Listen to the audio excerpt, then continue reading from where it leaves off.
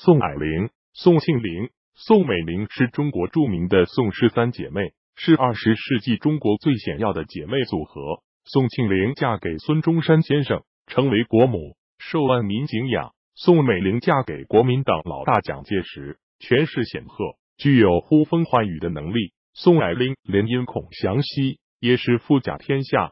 他们三人以及三人的家族，对二十世纪的中国拥有不可思议的影响力，在一定程度上，甚至影响了中国的历史进程，也因而成为世界关注的焦点。宋氏三姐妹闻名天下，但其实她们并不姓宋。